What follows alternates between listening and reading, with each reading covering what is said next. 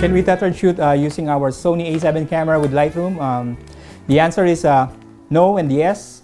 No, because uh, we cannot connect our Sony a7 camera to our computer and then open our, our Lightroom and do the tethered capture um, because Lightroom will not recognize our camera.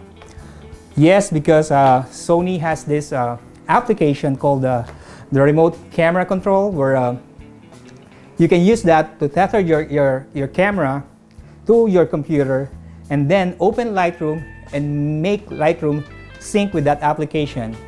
And this is how we're gonna do that. Okay, first we have to install our remote camera control application in our computer. Uh, I added the link below, both for Mac and for Windows. You can also Google it. Uh, just Google remote camera control and then you will have the link for both uh, Mac and Windows. Once you're done installing it, we'll go to the setting of our camera. Right now, uh, I'm using the Sony a7R II. Go to the, to the USB and make sure you, you choose PC remote. Once you set that, you can connect your camera using the micro uh, USB going to the USB port of your computer.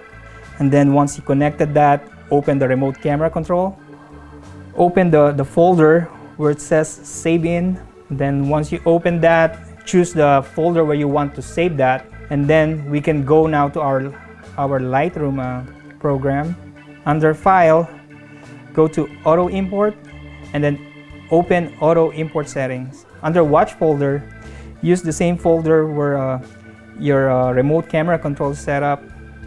Make sure they are the same. And then this is very important. On the destination folder, it should be the same as the watch folder, but you have to create a sub folder name with the name auto imported photos. This is very important because uh, this is where the, the remote uh, camera controller will save all the photos. And then once you're done, press OK. Now we can start shooting yeah, just by pressing the shutter button, back, and there's our images. There you have it guys, it's very simple. You cannot uh, tether directly to Lightroom using your Sony a7 camera, but uh, you can use another application by Sony and then sync that uh, Lightroom to that application. And if you guys like this video, just press like and don't forget to uh, hit the subscribe button and Merry Christmas and I'll see you guys on the next video. Alright?